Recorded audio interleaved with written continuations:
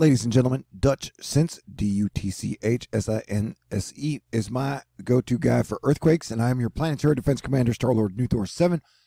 Dutch has just ended his live stream to get coffee, and so I am filling in the gap. He'll be gone for another half hour. He should be back with another update shortly. But I'm going to try and fill you in on what I have learned. A, there was just another 6.1 magnitude earthquake at Sand Point, Alaska, in the United States, and this follows the 7.8 earthquake that hit it was only eight miles deep, which is very, very shallow. They say there is no tsunami threat for Hawaii, and they say there's no tsunami threat for California. Dutch has said he would extend his tsunami watch all the way down to Vancouver Island. And so, while analysis continues on the potential threat to Vancouver Island, it is important to note that it should be determined that there is a tsunami threat. It would take in excess of three hours to reach Vancouver Island.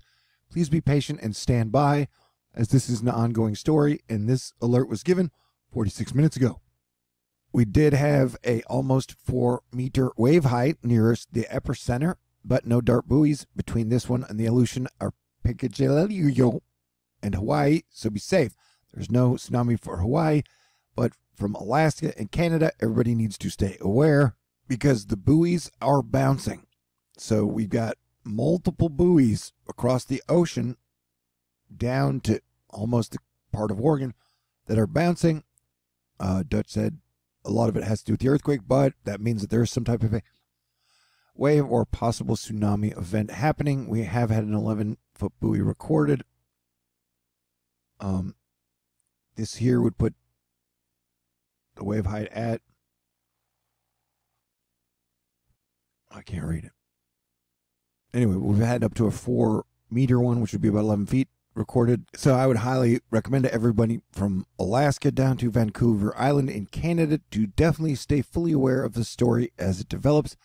I will bring you more information as it comes along. And not only have I had people on the west coast of the United States be on full red alert as your planetary defense commander for the planet parade, where you've got all the planets on the same side of the sun called orbital angular momentum and Jupiter and Saturn lining up December 21st.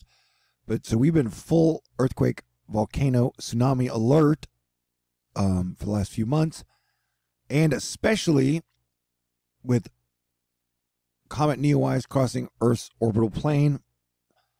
I have been mentioning we should be on the lookout for a very large earthquake due to that because the comet sun Earth interaction is there. I mean, not every scientist has to believe it, every YouTuber has to believe it, but I pretty much called this down to the the connection date. So everybody please stay aware. This is 2020. There is a plague ongoing and if we have hurricane season coming up, so if you have any type of an evacuation scenario during a pandemic, it is going to create more challenges and we have enough challenges as it is. So please everybody stay safe, stay cool. I will bring you information, but if you are on the coast in Alaska or Canada down to Vancouver Islands, please take this very seriously and stay aware. Peace out. God bless everyone. Talk to you guys soon.